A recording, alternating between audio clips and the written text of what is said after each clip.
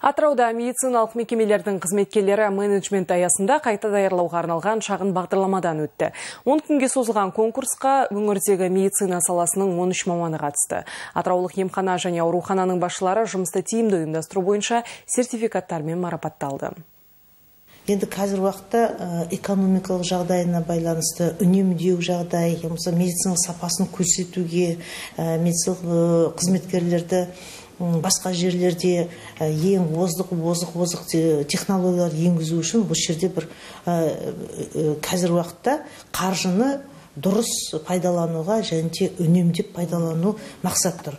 Енді қазір уақытта шынымен де бұрыннан бері біздің басшылардың көбісі бұл дейтін медициналық жоғары медициналық білім бұл көбісі бәрі де дәрігерлер. Ал енді қазіргі уақыттағы жаңа нарық мезгілінде жаңа бизнесті бизнес мезгілінде бұны дамытуға бұған дейтін біліктерін ары қарай басқа жолға басқа жаңа финанс жағынан деп айтамыз экономика жағынан қарау керек. Шағын медициналық дәрігерлік амбулатория бағдарламасының жоспары бойынша өңірдегі 37 басшының біліктілігін арттыру көзделіп отыр. Қазір бұл бағдарламамен атыраулық 18 дәрігер қашықтан білім алуда. Бұл оқудан көп нәрселерді алдық. Көп жыл жұмыс жасасақ та дегенмен де әлде де білмейтініміз көп екен.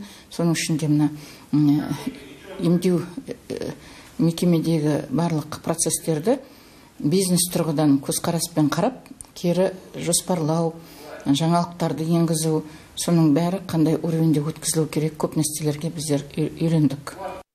Айта кетейік облыстық денсаулық сақтау басқармасының өкілдері бұл бағдарламамен тек басшыларды ғана емес сондай ақ олардың орынбасарларын қаржыгерлерді және кадр бөлімінің мамандарын оқытуды да жоспарлап отыр. Индира мерекенқызы динара бағытова жаңалықтар қызметі.